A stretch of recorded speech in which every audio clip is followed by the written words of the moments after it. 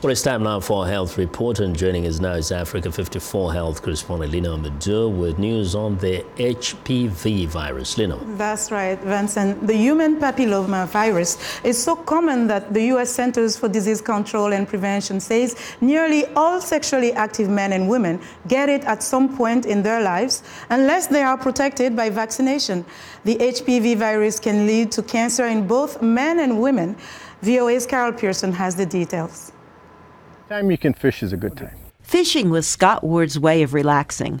He didn't have any risk factors that he knew of for cancer, so he ignored the lump on his neck until he couldn't ignore it anymore. We're seeing more and more younger, healthier patients. They're not smokers or drinkers, uh, obviously, and so it's just it's HPV related. Smoking and drinking can cause oral cancers. Ward's cancer was caused by HPV, the human papillomavirus. Normally, you think HPV, you think of women, cervical cancer. HPV does cause cervical cancer, but it's a misconception that only women have to be concerned with HPV caused cancers. The big ones are the cervical cancer, and the other one's the oropharyngeal cancer. Oropharyngeal cancers affect the head and neck.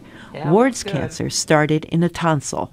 But there's a vaccine that's been around for more than a decade that can protect against the HPV virus.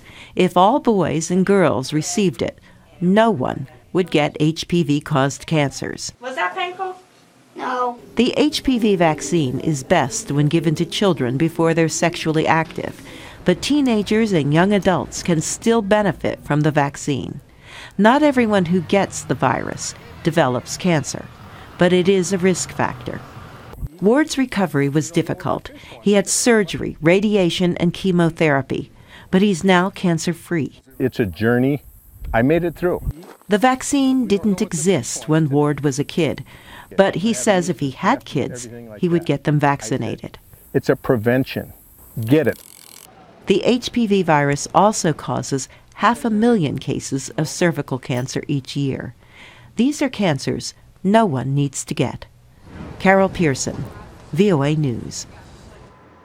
Now, vitiligo is a skin disorder characterized by patchy depigmentation of the skin. Up to 2% of people worldwide are affected by the skin condition, which affects men and women equally.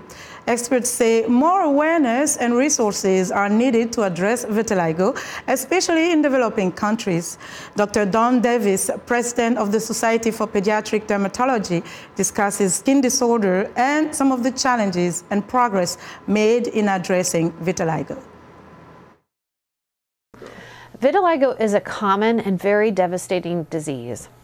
We're not sure the exact uh, pathogenesis of vitiligo, but we believe that it is an autoimmune destruction of the by the body's own immune system of the melanocyte. So the melanocyte is the cell within the skin that makes pigment that then gets released to keratinocytes, which are the skin cells that make up the brick wall that is your skin layer. Mm-hmm. And various people have different types of melanocyte pigment that give them their natural skin tone. And we believe that the patient's immune system targets the melanocyte and destroys it. And when that pigment producing cell is no longer present in the skin, the skin over time bleaches because there's no pigment production going on. And that leads to a milky white appearance.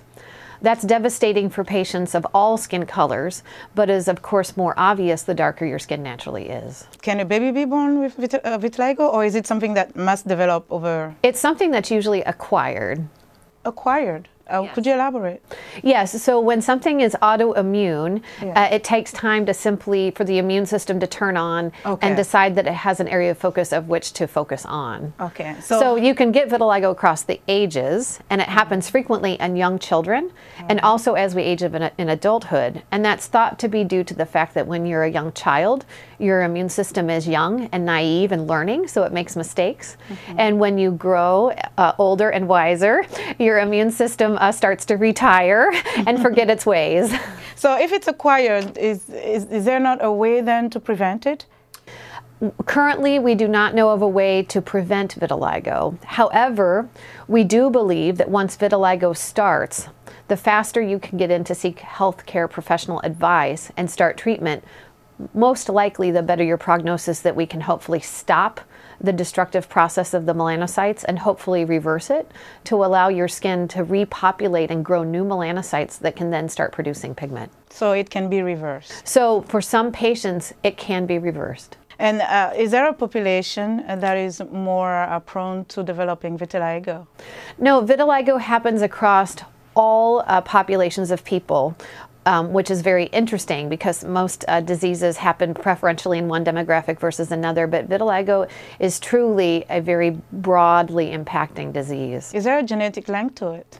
Some cases of vitiligo tend to run in families just like autoimmune diseases tend to run in families but they're not it's not a directly inherited disease now in terms of research treatment and prevention tool uh, what do you see uh, the need there's definitely a need to close that gap vitiligo happens very frequently on the face the hands the parts of the body that are visible and it can be very devastating. Mm-hmm. And so, psychosocially, it's of concern and alters people's quality of life, but also from a medical standpoint, because if you don't have natural sun protection from the skin coloring that protects you from ultraviolet light, you're then at risk for increased photo damage and skin cancer in those areas that are vitiliginous.